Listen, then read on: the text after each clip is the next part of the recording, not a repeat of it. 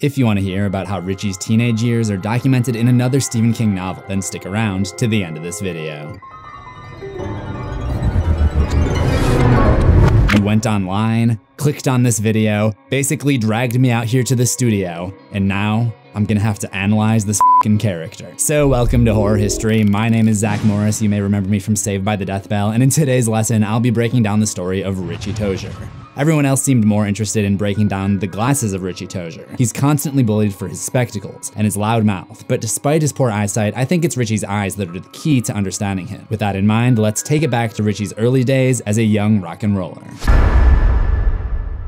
Richie Tozier was born in the year 1945. As far as we know, Richie was the only son of a dentist named Wentworth and his wife Maggie. Maggie had hoped to have a girl and isn't always a fan of Richie's boisterous personality. Richie always had poor eyesight and seems to suffer from emetophobia, or a fear related to one's eyes. One time when he was very young, he dreamt that he had poked his eye full of blood, and when he woke up, he was actually relieved that he'd only wet the bed. Richie had a good relationship with his father. Wentworth never went easy on Richie, but he understood his son and would sometimes even do voices with him. Wentworth took Richie out to see the Paul Bunyan statue when it was first unveiled in Derry's city center. As a kid, Richie would most often hang out with his friend Stan Uris, and the two would sometimes go to the Barrens and do stuff with Bill Denbrough and Eddie Kaspbrak. There aren't really any Richie and Stan scenes in the book, but we're given the impression that they're close in both movies. They show up as a pair in the 1990 version, and Richie is the only one to attend Stan's bar mitzvah in the 2017 adaptation. Richie was best known for his voice impressions, which included Kinky Briefcase, Sexual Accountant, Jim, Jim from Huckleberry Finn, the German Commandant, Toodles, the English butler, Now, pip pip and tally-o, my good fellows! the movie newsreel narrator, Newsflash, Ben! School's out for summer! Granny Grunt, Pancho Vanilla Voice, Doesn't smell like caca to me, senor. Chinese Coolie, and many, many more celebrity voice impressions that probably would have had the SJWs up in a fing rage if the internet had been around back then, but it wasn't. So instead, Richie's impressions, which most agreed were rather pedestrian, Your voices all sound the same, Richie. seemed to piss off the bullies of Derry more than anyone. They were constantly chasing him, beating him up, breaking his glasses, and disliking his videos without even watching them. Okay, I made that last one up. But one day at school, the leader of the bullies, Henry Bowers, slipped on a puddle and. Yeah, let me just play the clip.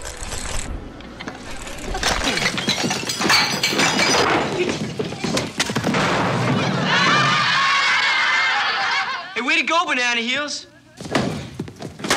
How was this kid considered a loser? If he grew up when I did, he would have been considered a legend. So after school that day, the bullies were looking for him and they chased him all the way through town to Freese's department store, where he hid in the toy department, then snuck out of the emergency exits. The scene is not in any movie so far, but Richie's Freese's t-shirt in the 2017 film suggests that maybe he hid there in the book because he knew the ins and outs of the place. Now Stan might be Jewish, but Richie is probably the most relatable character for me because of his love for horror movies, rock and roll, and his overwhelmingly charming personality. Okay, fine, take that out. It is a gift!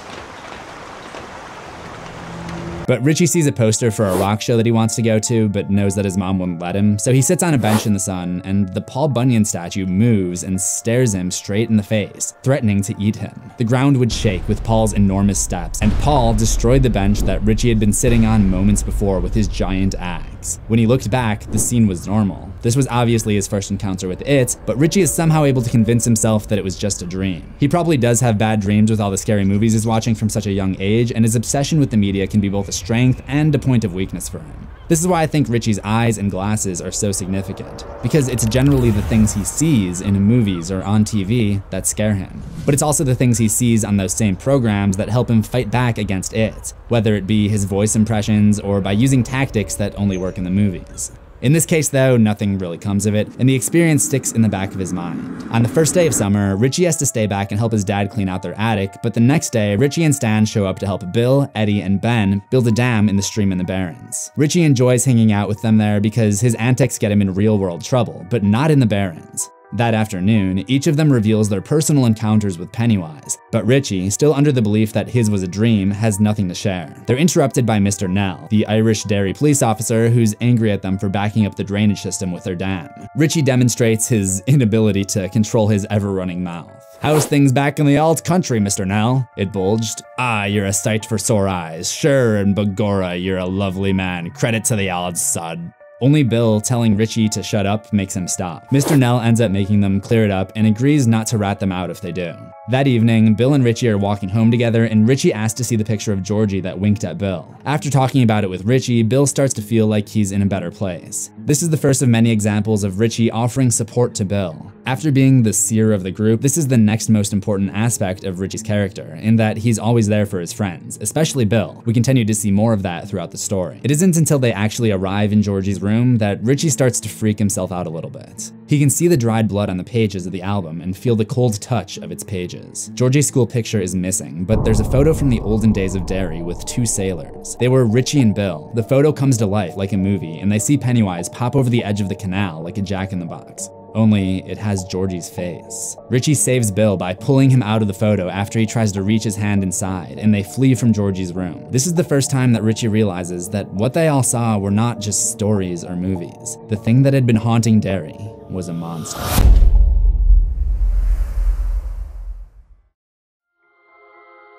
Richie Tozier would have been subscribed to this channel with death bell notifications on because Richie was a fan of horror movies. And one Saturday, not too long after the day they took down the dam, I Was a Teenage Werewolf was playing at the Aladdin Theater in town. He bargains with his dad to earn $2.50 for mowing the lawn, though Richie claims that this is blackmail because his father knows he wants to go to the show. Keep in mind, this was 1958. It didn't cost $17.50 to get into a movie or $15 a month for MoviePass to f you in the Ben Hanscom also has no money, having spent it on junk food, so Richie spots him. Then they run into Beverly Marsh. Richie admired Bev's looks, but mostly liked her sense of humor. Bev doesn't have any money, and Richie pays for her tickets as well, since the tickets were only 25 cents, which they jokingly refer to as a date. They sat on the balcony to avoid Henry Bowers and his gang, but they were spotted on the way out and surrounded in the alley next to the movie theater as they tried to sneak away. Ben led the escape effort by throwing a garbage can to knock over Henry Bowers, and Richie ended up using the lid as a shield, blocking a punch from Belch Huggins and helping them get free and escape. The next time Bill and Richie get together, they decide to go to the house on Neibolt Street to investigate Eddie's story about the encounter with it. Richie rides on the back of Bill's bike. They crawl in through a broken window and discover a coal pit in the basement. The cellar door flies open and a werewolf wearing loafers, faded jeans, and a Derry High School jacket enters the room. Remember, it's the things that Richie sees in the media that scare him. So it takes the form of the teenage werewolf from the movie he had seen. I also think that because Richie is basically the eyes of the group, whenever they're together, it usually takes the form of Richie's fear. Bill brought along his father's gun, but that doesn't hurt the werewolf nearly as much as Richie, who uses his Irish cop voice to scream at it with a sense of authority. He also throws sneezing powder at the creature, sending it into a fit.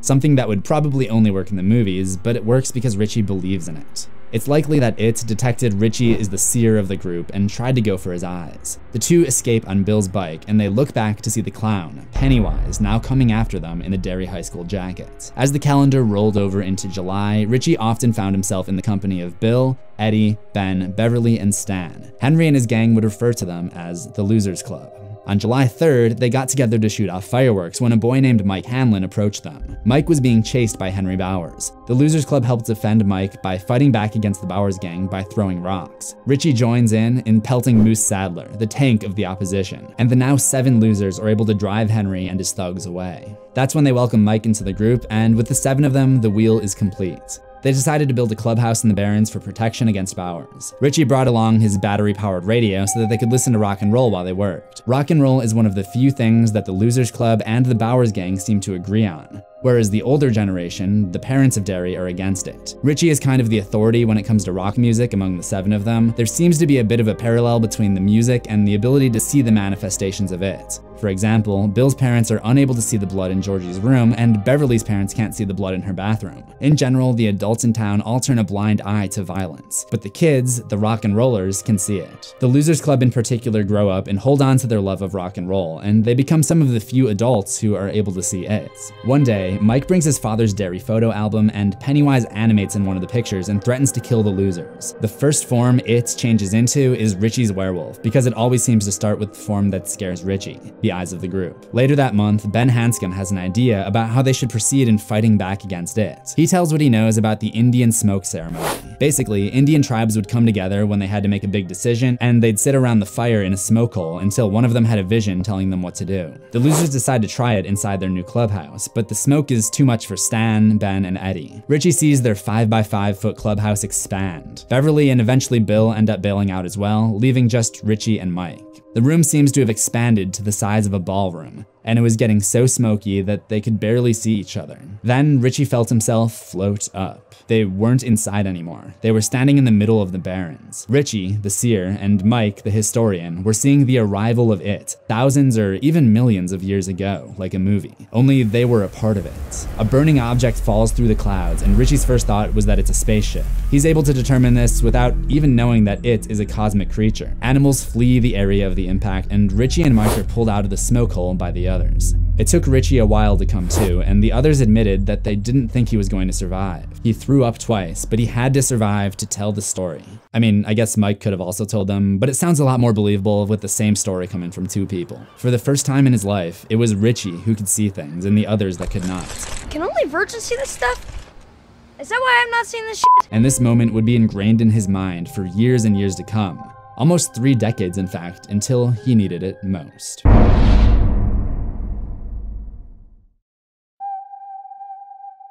Here's a riddle for you. What's the best way to come out of an ad break?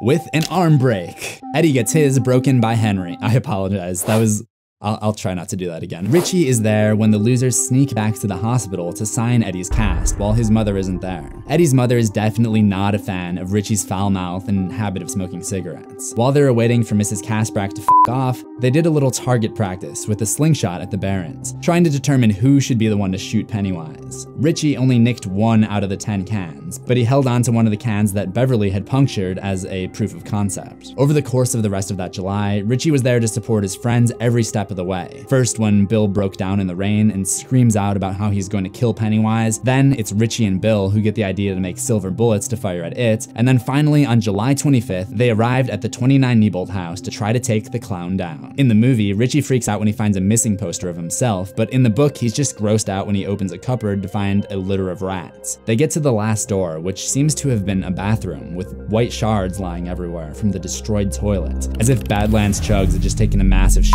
there. As as always, when Richie's around, the form that it takes is the teenage werewolf with the high school letterman jacket. Richie is the first to realize what form it's taking and screams out to warn the others. And although the losers take a couple of tough shots, they're able to drive it back down into the sewers. The two weeks that follow are pretty uneventful and consist of a lot of games of Parcheesi. The day of the big confrontation with it starts with Richie and Eddie getting popsicles in town, when Bev and Ben come to warn everyone that Henry Bowers had lost it and was trying to kill her under the orders of it. Bill decides that now is the time time to retaliate, and they climb into the sewers at the pumping station in the Barrens. Richie is the last one to go in and sees Henry run up and slip on a puddle, so he yells, Hey, banana heels, before climbing down. When Henry tries to go in after them, Richie bit him in the ankle before running up with his friends in the drain pipe, thus fully earning his nickname of Trash Mouth Tozier. Oh, okay, trash the trash mouth, I get it. Eddie navigated as they searched for its lair in the sewer, sometimes having to scoot or crawl to fit through the pipes. At some point, it gradually started to get lighter, and Richie noticed what would be the first form of it the losers would face down in the sewers a giant eye with six tentacles resembling the crawling eye, a horror movie that Richie was afraid of. This form combined combined his sensitivity to his eyes, emetophobia that I mentioned earlier, and the tendency for it to use the forms of horror movies that Richie had seen in order to scare the entire group. They're only able to escape when Eddie, the only one who wasn't restrained, attacks the eye by believing his aspirator was filled with battery acid and spraying it. After moving on from the crawling eye and entering the lair, Richie saw the rotted bodies of some kids who had been abducted by it during that summer. And the one that really hit home was Edward Corcoran, a boy who was the same age as Richie. The true form of it is is the Deadlights, but the Losers Club's human minds aren't able to process something like that. So they see it as a giant spider. Bill is successful in his mind battle against it in the Macroverse, a fight where Richie plays a major turning point in the movie. In the book version, it's mostly just Bill versus it in the other dimension, but as Richie started to sense that they were coming back from the macroverse, a ripple went through his body, sending his glasses crashing to the floor and shattering. The losers escape from the sewers, and each one of them partakes in the promise, a blood oath that if it should ever come back, they would come back to try to kill it again. During this promise, Bill notices that Richie's face looks different without his glasses. This is symbolic of the fact that after defeating it, each loser stops being a loser and starts transitioning into the successful adults that they would become. With it thrown back into a deep sleep, Richie would no longer need to be the group's seer, and after overcoming such a huge obstacle by defeating it, Richie would no longer be bothered by trivial things, such as being bullied for his glasses or his emetophobia. Also, most of the bullies were dead at this point, so that probably helps. Richie stayed close to his six friends, but that would be the last time the whole group got together in the same place at the same time. In the Stephen King novel 11/22/63, Richie makes a small and questionably canon appearance. An English teacher named Jake Epping travels back in time to prevent the assassination of an American president, and he ends up stopping in Derry during the fall of 1958, approximately two months after the Losers Club defeats it. Whenever you're dealing with time travel, you run the risk of creating multiple timelines. Believe me, I'm a Legend of Zelda fan, I know. So there may now be a timeline where Jake Epping interferes and one where he doesn't. However, the Derry that Jake visits seems to be at least very similar to the one in the novel It. For example, there's a mention of Patrick Hockstetter's body being discovered in the Barrens, which lines up with the events of It. Jake discovers Beverly and Richie dancing near the fence on the border of the Barrens and is taken back by their joyfulness. Perhaps they're more relaxed than the rest of the town now because they are two of the seven people that realize that the threat has now passed and no more murders are going to take place. Bev and Richie are able to connect with Jake because, as an outsider, he seems to realize the disconnected nature of most of the adults in town. Going back to my rock and roll analogy from earlier, it would be reasonable to say that Jake is on the same page as them because he's probably grown up on rock and roll himself, having been born in the late 70s. Also, during this meeting, Beverly expresses her belief that it is merely sleeping, so it's possible that the losers quickly came to this conclusion after the events of 1958. They were not wrong. Richie and the Losers Club would eventually have to come back and fulfill their promise when it rose again in the 80s. But before that happened, Richie had some growing up to do.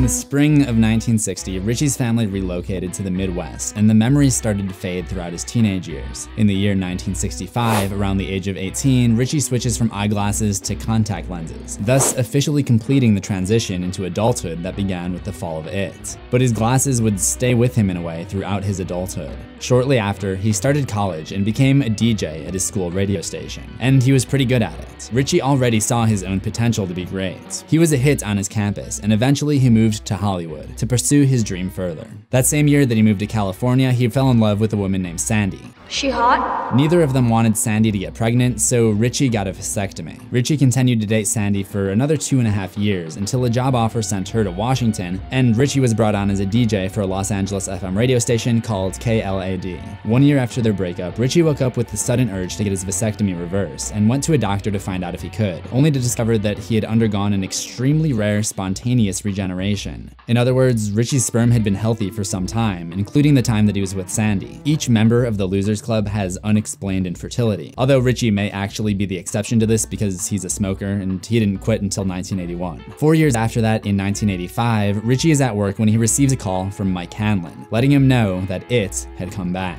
He calls his travel agent to arrange a flight, and she asks him to do his kinky briefcase sexual accountant voice as she makes arrangements for him to stay at the Derry Townhouse Hotel. His manager, Steve, chews him out for skipping out when he's actually scheduled for a broadcast tomorrow, where he's supposed to interview Clarence Clemons. Without realizing it, Richie packs a bunch of kids' clothes into his suitcase, a sign of the rock and roll loving comedian kid still being alive inside of him. Yeah, and I think the rabbi's gonna pull down your pants. Turn to the crowd and say, Where's the meat? After Mike's call, Richie's childhood memories start to trickle back.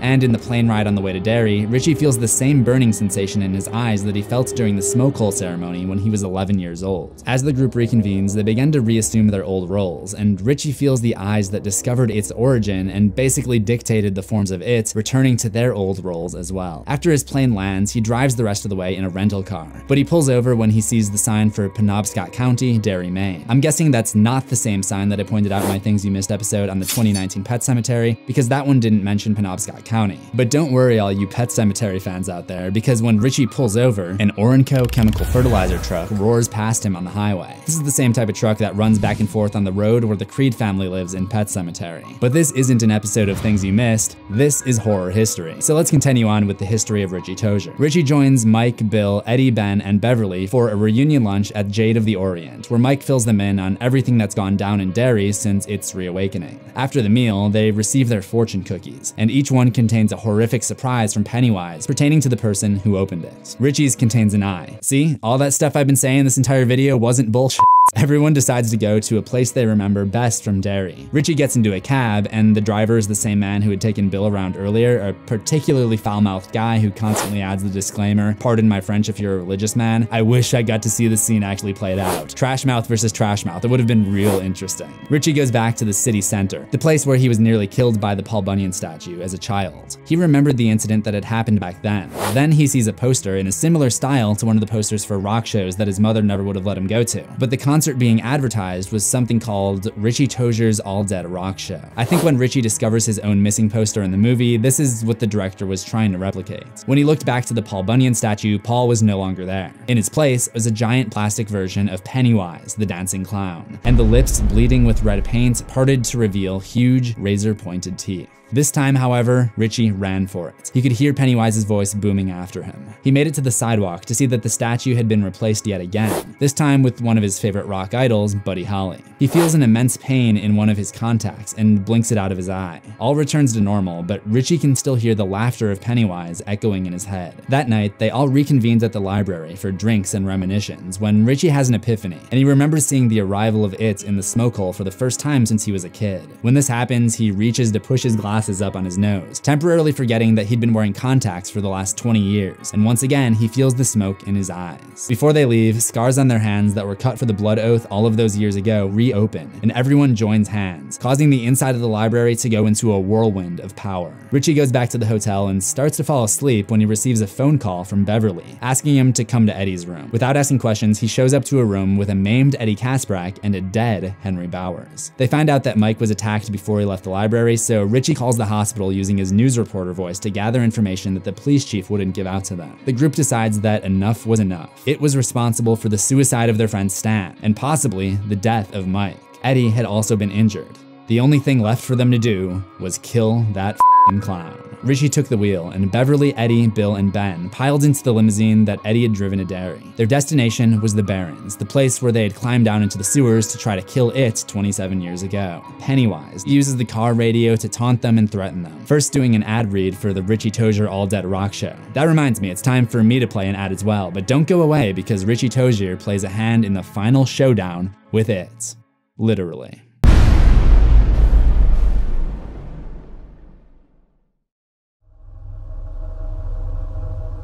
Richie parks the limo next to the bridge, and they go to the pumping station where they had entered the sewers once before. The machinery had been turned off, and they were able to descend into the sewers, trudge, and crawl their way through dirty water and sewage, eventually finding the inner layer of it. Again, their minds are unable to process the deadlights, but this time they're able to tell that there's some other shape behind the spider, which is described as being like someone moving behind a movie screen, which I find interesting because of the tendency of it to take the form of the monsters that Richie has seen in movies. The spider comes for Bill, and the ritual begins once again. Bill and it engage in an out-of-body showdown in the Macroverse. This time, it doesn't go as well for Bill. The celestial being known as the Turtle is no longer there to help him. Richie notices this back in the chamber because he sees Bill's face contort as if his spirit is in pain or struggling. All along, Richie has been the support for Bill. The photo album, 29 Neibolts, The Stormy Afternoon in the Barrens being a few examples. Richie runs up to the spider stinger and uses his Irish cop voice to distract it. He gets whacked into the darkness by it and joins Bill in the Macroverse, where he does what Bill was unable to do this time around. He bites into its metaphysical tongue and hangs on tight. He flies flies past the shell of the turtle, possibly its corpse. He approaches another barrier, but he can't grasp the shape, but he thinks it could be a wall of stakes. No, no, not those stakes these stakes. Maybe a reference to It's appearing to Ben in the form of Dracula one time. Richie finds Bill and takes his hand, then turns the tables on It and threatens to kill it, right then and there, if it doesn't bring them back to the physical world. Richie uses his mind to hang on tight to It, nearly losing his grip before arriving back in the actual spider's chamber. When they come back, they find Eddie seriously injured, as he had tried to attack It with his aspirator, as he did to the crawling eye in 1958. But he got his arm dismembered and was bleeding out on the floor of the chamber. Eds, Eds Eds, oh my god, Bill, Ben, someone, he's lost his arm, his... He looked up at Beverly and saw she was crying, the tears coursing down her dirty cheeks. Richie. What? Richie was down on his hands and knees, staring at him desperately. Don't call me Eds, he said, and smiled. Those would be Eddie's final words. Beverly took him in her arms and urged Richie, who wanted to stay and comfort Eddie in his final moments, to go on after the spider, so that it doesn't come back after another 27 years. If that thing comes back when I'm 70, let's finish it once and for all. Bill and Richie chased it to the deepest part of the chamber, further than they'd ever been before. It begs them to let it go, offering them power, success, and long lives beyond their wildest dreams. They both simultaneously plunged into it. The monster lashed out at them, injuring Richie, who struggled not to drown in its guts. Bill ended it when he crushed the heart of it in his hands, where it exploded. Bill took Richie in his arms and tried to find Beverly and Ben in the dark, since the deadlights that had been illuminating the place died along with the spider. When they reconvene, Richie comes back too. The tunnel that they're in starts shaking, a side effect of the violent storm taking place above them. They have to leave Eddie behind in order to try to save Bill's wife, Audra, and Richie carries her for a bit as they make their way back to the surface, perhaps his final gesture of support towards his friend Bill. Richie flew back to California a few days later, and after the defeat of It, each member of the Losers Club gradually started to lose their memories of everything that had happened in Derry. Later in the week, Mike Hanlon gave Richie a call in Beverly Hills. At first, it went to the answering machine, and when Richie picked it up, he said that he let Mike talk to the answering machine for as long as he did because for a slight moment, he had no idea who Mike was. Just like when Mike first reached out to him to tell his old friends that It had come back. Richie Tozier was a joker and a troublemaker, but he played an important part in the group, using his eyes and his creative voice impressions to help them stand a chance against it, and he was always there for his pals when they needed him. Kind of like how I'm gonna be here for you, the viewers, with more episodes of Horror History. Just click the playlist on the left to see me analyze more characters like Bill Denbrough, Stan Uris, and others. And remember to subscribe to CZsWorld for new horrors every week, ring the death bell for notifications, so even if you do lose your memories, I'll still be able to see you in the next one assuming we both survive.